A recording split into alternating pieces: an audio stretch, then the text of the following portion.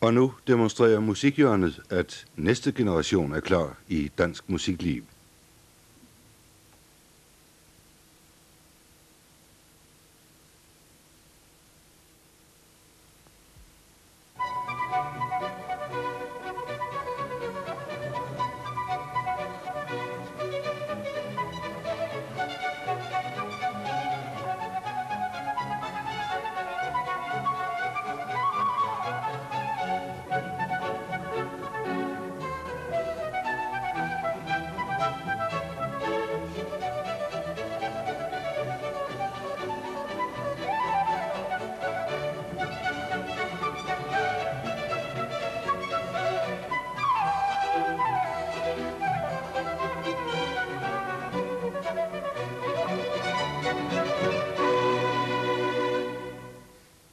Første efterårsudgave af Musikhjørnet kan de møde 72 unge danske musikere. Nogle af dem står midt i et gennembrud og er netop nu ved at slå deres navn fast med syvtommersøm i det danske musikliv. Og andre af de medvirkende i aften, ja, de er nu så unge, at det er for tidligt at sige, om det kan bære en professionel karriere, hvis det er det, de overhovedet vil. En af dem, der er godt på vej ind i den danske musikerelite, er den 28-årige operasanger Tina Kiberg.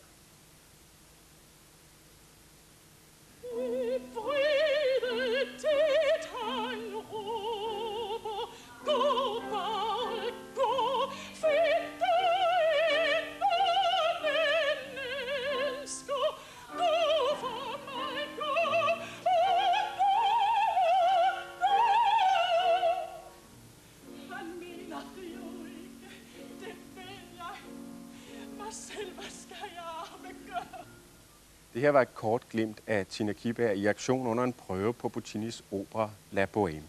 Og det kommer der mere af senere i programmet. Vores anden solist i aften har de sidste fire år haft det, man kunne kalde en kometagtig karriere. Og hans motto, det synes at være, skift instrument og spil på det nye instrument i tre måneder og blive assistent i det kongelige kapel. Spil endnu et år på dit nye instrument og bliv koncertmester i Radiosymfoniorkestret. Det skal nok få en nærmere forklaring på om cirka 20 minutter. Det var to af de medvirkende. Vi mangler de 70, og de sidder utålmodige og venter på at komme til. Det er Danmarks største ungdomsorkester.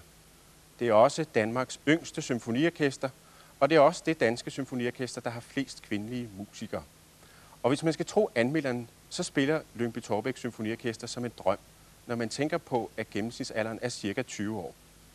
Og at niveauet er så højt, ja, det skyldes også, at orkestret har en dirigent, der forstår at arbejde med unge musikere.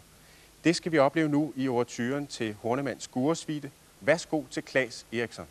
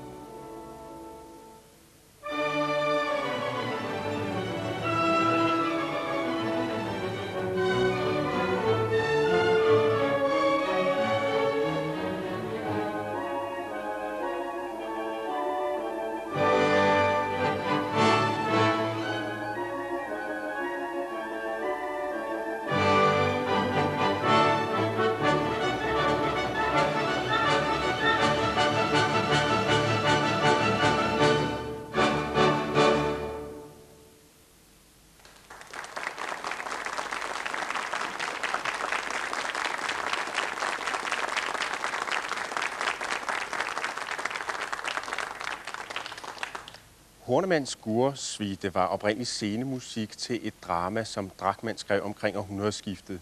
Og det hedder også Skure. Men øh, Drachmanns drama er lykkeligt glemt, mens altså Hornemanns musik spilles den dag i dag.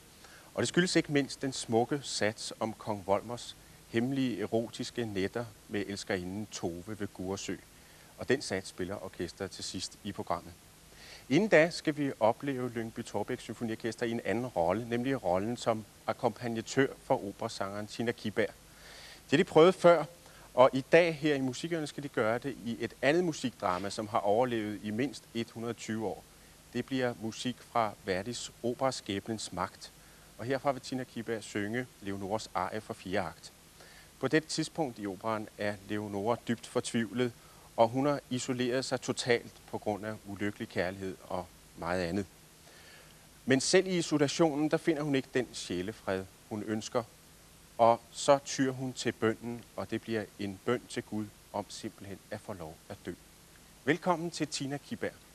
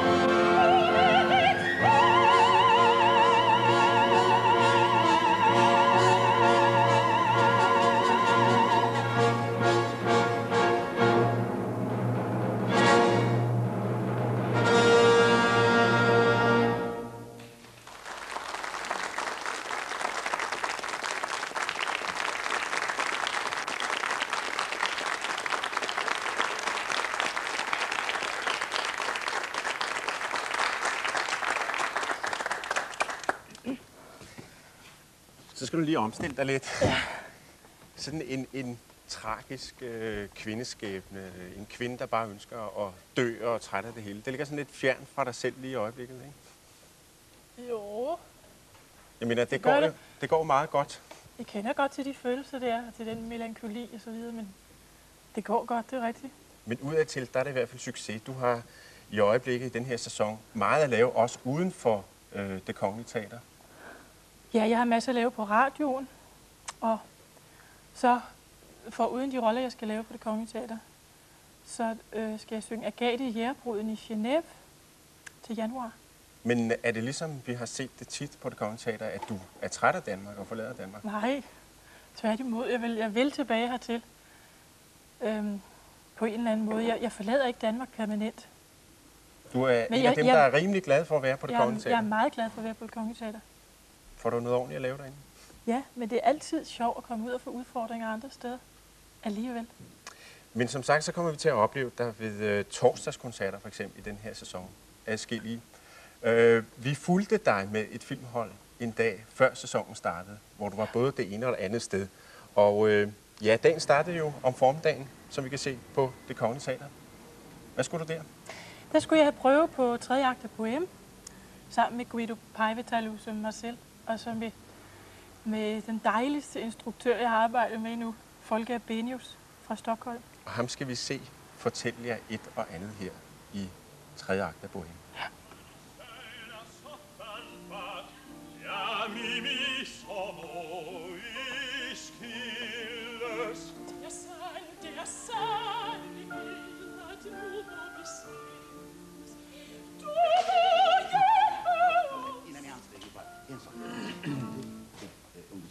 Ja, då är det inget annat. Ja, Mimi, så må vi skilles. Så må vi skille. Vänd ryggen du ifrån så må man skille. Så Ja. fan är det du håller på Ja. och snackar så mycket om? Men jeg er, ikke, du- jeg er ikke på vej ind endnu. For, Inte for jeg, riktigt. jeg kan godt mærke, at hun nej, ikke er men du vet man kan ta en sån där, men herregud, det är ju så enkelt. Det smärtsamt, men då får ni väl skilja. Och så far hon på dig. Eh, eh, nej, det, det hon inte riktigt det, men det lite att, att det... Så, lu- Du må hjælpe os, derfor kom jeg til dig. Nej, Nej, se ja, mig snälla, over. Men Ja, just just precis, precis. Snackande. Stanna.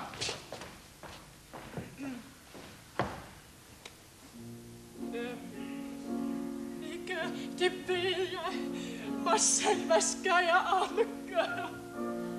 ja la scena sottan fat ja mi mi somo iskilles du sa du sa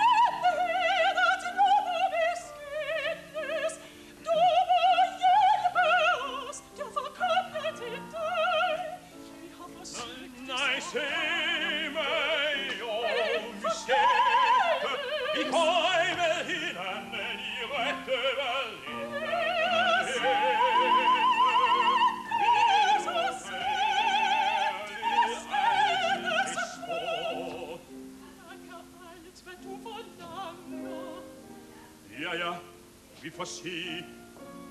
Nu skal jeg hente ham. Han sover.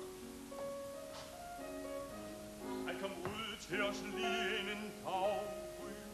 Han faldt i søvn der på bænken. Jeg ser selv.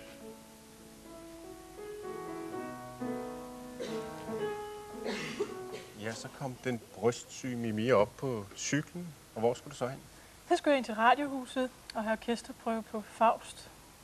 Og det forvirrer dig ikke sådan to ting på en gang at springe fra den brystsyge jo. Mimi til noget helt andet. Det gør det faktisk, men det er jeg jo vant til. Men det er, det er lidt svært, man skal omstille sig. Der var lige tid til en ostemad inden prøven. Var der det? Eller kaffe, eller hvad det? tror jeg som ikke. Det fik du ikke engang.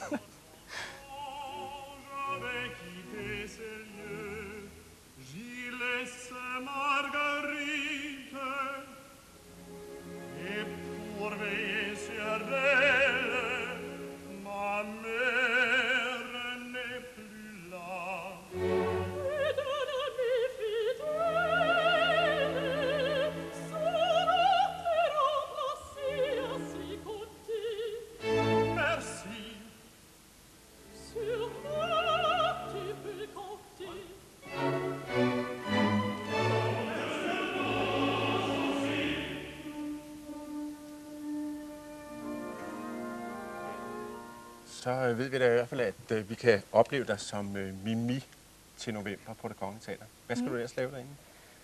Øh, skal jeg synge det, jeg har sunget før? Øh, Yasudara i Siddhartha og Grevinden i Figaros bryllup. Og så øh, en gang Maskerade. Og så er der premiere på, på øh, Don Juan, hvor jeg skal synge Don Elvira i oktober. Og så Bohème. Det var også fire store roller. Og så efter jul skal jeg til, som sagt til Genève og synge Agate. Og så når jeg kommer tilbage igen til det Kongelige Teater, skal jeg synge Feldmarskalinden i Rosenkavalieren. Jeg er oppe på seks nu, og Ja. så alt det løse. Seks kvindeskæbner Mm. på en sæson. Du synger også andet end opera, og da du skulle være med i programmet her, så sagde du, jeg vil synge noget andet end opera. Hvorfor vil du det? Fordi det bliver så kedeligt, hvis man altid synger opera. Ej. Tror du ikke, der er mange operafans, der bliver sure på dig? Nej, Nej, hvorfor vil du gerne? fordi jeg, jeg elsker at synge lieder. Fordi det hele er mere enkelt og alligevel meget sværere. Og det giver mig, det giver mig ligesom nogle ekstra aspekter, når jeg, når jeg skal synge opera også. Der er noget rent teknisk også, man kan. Også det er noget rent tekst. Det er meget sværere at synge lieder. Ja, det var da til eftertanke. du skal synge spansk øh, musik. Ja, jeg skal synge en sang, der hedder El Majo Discreto. Så må jeg lige spørge, hvad det der marro Ja. er. Er det noget med at lade, lade stubbene stå Nej. og se maskulin ud, eller hvad er det for noget? En majo, det betyder simpelthen en mand, der kommer fra Madrid. Og det er noget særligt fint. Og det her, det er en sang om en mand, som ikke er særlig køn. Ja, det er en pige, der fortæller om, en, om sin ven. Der, øh, de siger alle sammen, at han er grim og hæslig. Men hun siger, at det gør ikke noget. For til gengæld så har han andre kvaliteter. Han er nemlig diskret og i stand til at holde på en hemmelighed. Og det er jo en Og- kvalitet. Og det er en kvalitet, men hun vil dog ikke fortælle, hvad det er for en hemmelighed. Men til sidst siger hun, han er født i Lavapiés, som er en del af Madrid. Så der kan I selv se, at han er en majo. Jamen, jeg, jeg tør godt lytte til den, selvom jeg ikke er født i Lavapiés. Okay. Lad os få den.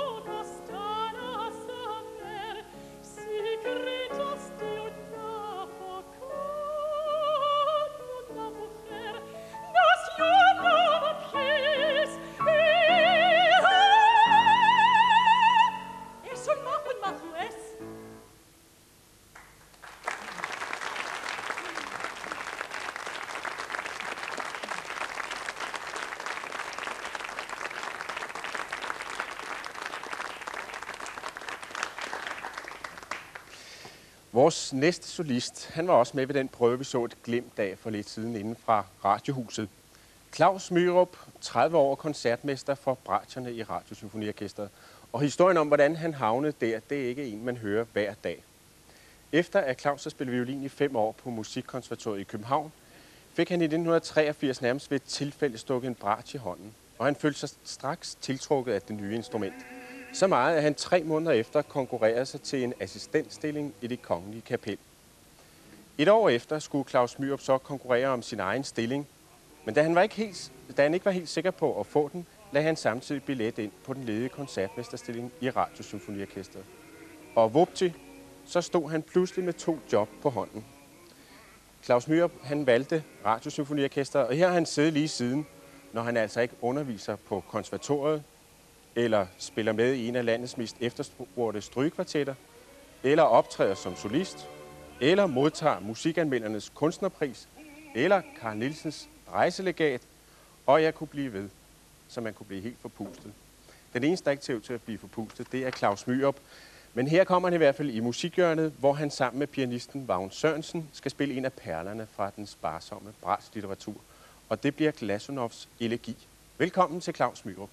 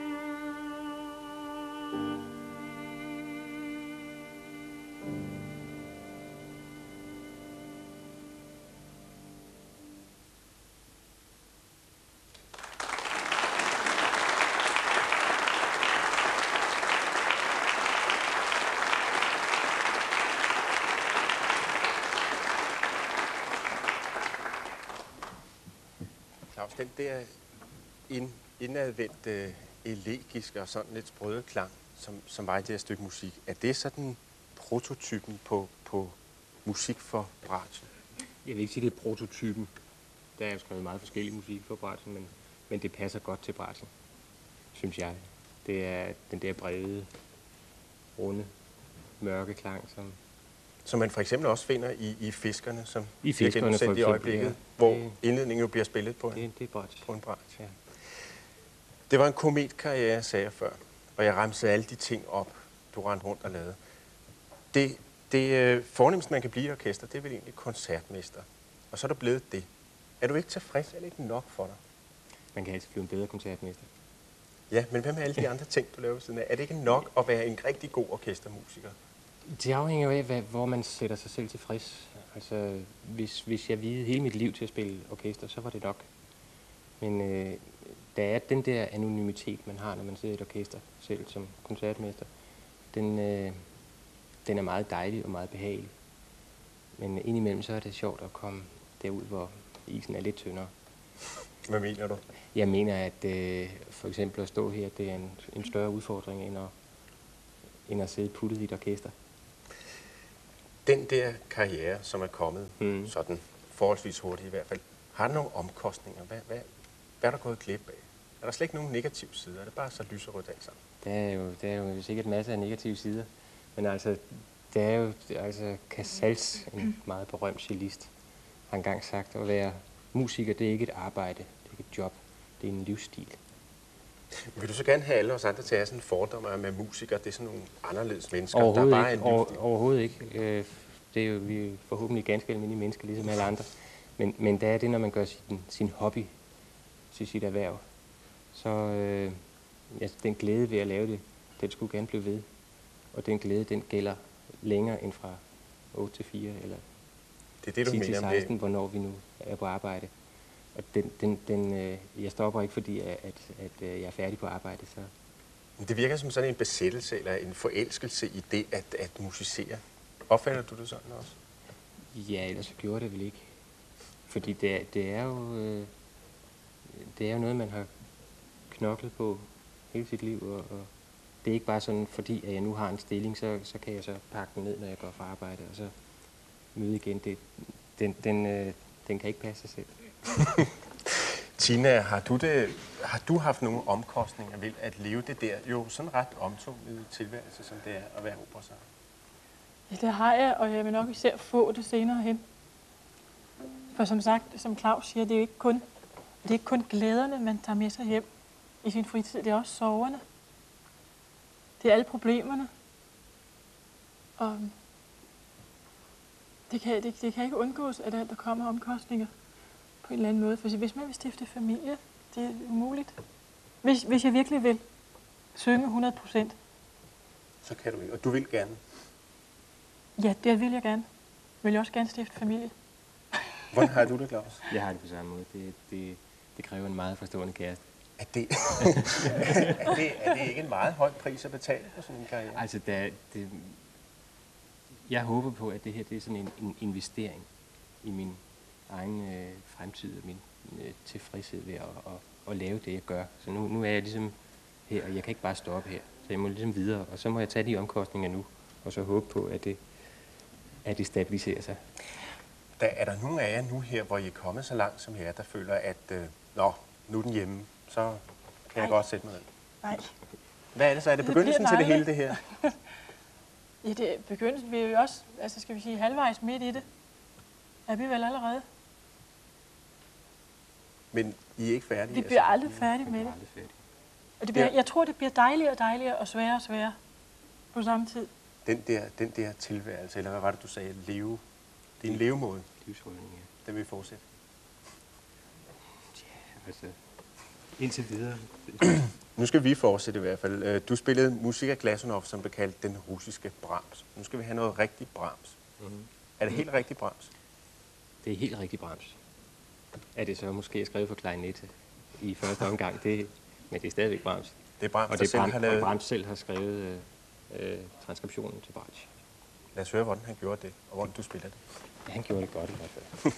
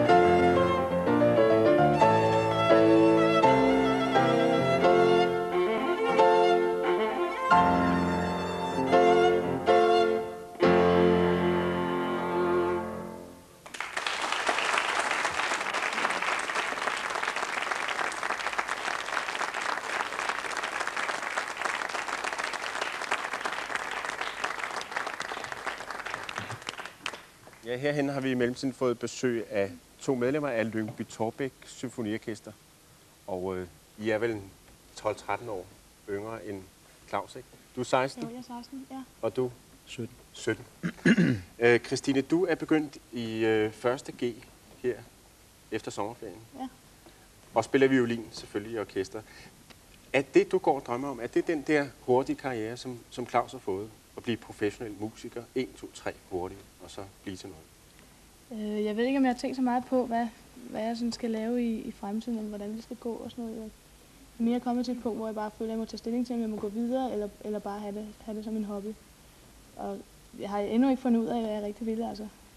Hvad er det, der, øh, der får dig i tvivl, om det nu er det rigtige at blive musiker? Fordi det, altså det er da altid svært at, at vælge, hvad man vil lave resten af sit liv. Synes jeg i hvert fald. Altså, jeg ved ikke, om jeg vil kunne holde ud at være, være musiker hele mit liv. Altså, det tror jeg først, jeg kan sige, når jeg står i det. Så det klør, det var- ikke, det klør ikke lige så meget i dig, det der med ikke at kunne nej, lade være? Nej, det gør det nok ikke tilstrækkeligt endnu. Altså, det er også derfor, jeg har valgt at gå i gymnasiet, fordi hvis jeg var helt syg for at spille, så var jeg, var, kunne jeg måske have været gået ud nu.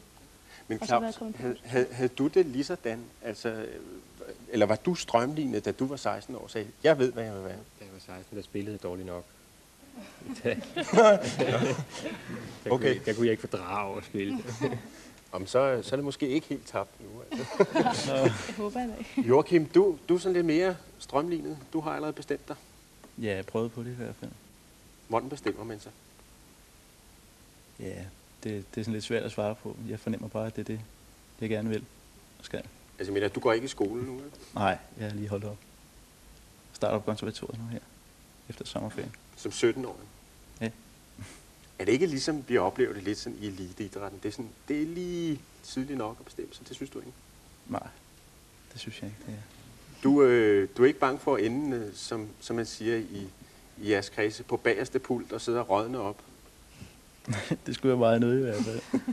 Men jeg er ikke noget med at spille orkester, det kan jeg godt lide. Jeg skal bare ind og sideløbende også. Men du vil helst være solist. Ej, ikke helst, men gammel vil jeg gerne. Lad nu bare være. Er det ikke det, du vil? Ej, jeg tror ikke, man kan leve af at være solist på Bo, men øh, Hvordan har du det med, med orkester og solist? Øh, ja, jeg tror også, jeg vil... Altså, altså hvis jeg satser og, og spil, spiller rigtig godt på konservatoriet og sådan noget, så vil jeg selvfølgelig først og fremmest sti- stige frem mod en orkesterplads. Man går vel ikke bare ud og bliver perfekt solist hurtigt, altså. Og så kan det være, når jeg, når jeg så sidder i et orkester, kan det være, at jeg til den tid tager stilling til, hvad jeg, om jeg har lyst til at arbejde videre. Men det må da være rart at kunne begge dele på en gang i hvert fald, synes jeg. I aften skal I i hvert fald spille i orkester. I skal hen til jeres orkester, og I skal stemme sammen med alle de andre. Og så skal vi hilse på jeres dirigent, imens I stemmer. godt. God fornøjelse. Tak. Klaas, I skal, øh, I skal til Østrig. Hele orkestret. Jeg tror, vi skal have den her hen. Så. Ja. I skal til Østrig. om 14 dage.